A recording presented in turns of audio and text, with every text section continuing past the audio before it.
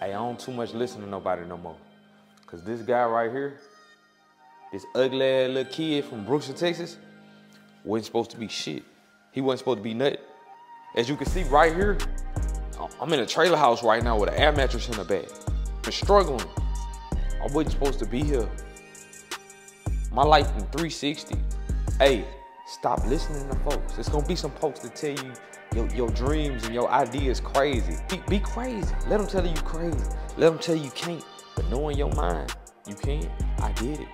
I came from that 360. A lot of y'all think I just woke up popping my shit. Boy, they gonna tell you, they gonna, they gonna give you suggestions on things you should be doing instead of this.